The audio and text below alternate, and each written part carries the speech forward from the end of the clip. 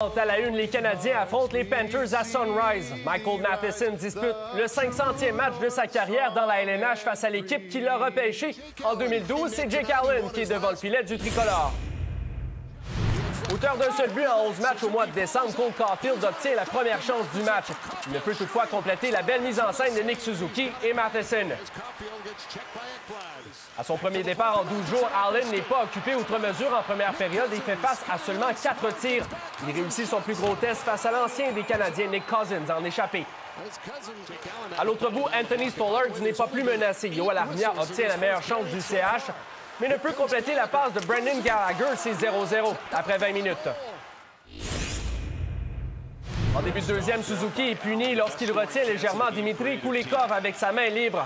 Les Panthers se retrouvent donc en avantage numérique et ils en profitent. Et tout, Luostarinen profite de la rondelle qui est au vol pour la frapper et il ouvre la marque. C'est son sixième but de la saison. Montréal évolue à son tour avec un homme en plus et Suzuki obtient une belle chance de se reprendre, mais son tir touche la barre transversale. L'attaque massive se poursuit et Suzuki choisit cette fois de remettre à Caulfield à l'embouchure du filet. Le numéro 22 surprend Stollard avec un tir du revers dans la partie supérieure. Cole l'égalité avec son neuvième de la saison. Matheson est également complice. Les Panthers pensent bien reprendre les devants quelques minutes plus tard lorsque Carter Verhage complète un superbe échange en avantage numérique. Martin Saint-Louis demande toutefois la révision vidéo pour un hors-jeu une trentaine de secondes plus tôt. Et quoi et quoi? Il obtient game cause. Le but est refusé 1-1 après 40 minutes. Auteur de 5 buts à ses 5 derniers matchs, Josh Anderson obtient une chance rêvée de poursuivre sa séquence de succès dès la mise au jeu en début de troisième, mais Stollard résiste.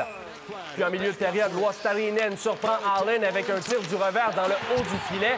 Il marque son deuxième but du match sur l'attaque massive. C'est autant qu'il en avait marqué à ses 247 premiers matchs dans la LNH.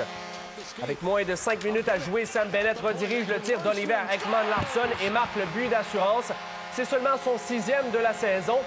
Les Panthers l'emportent 4 à 1 et signent un huitième gain de suite à domicile contre les Canadiens, ce qui égale la plus longue séquence de leur histoire face à un adversaire.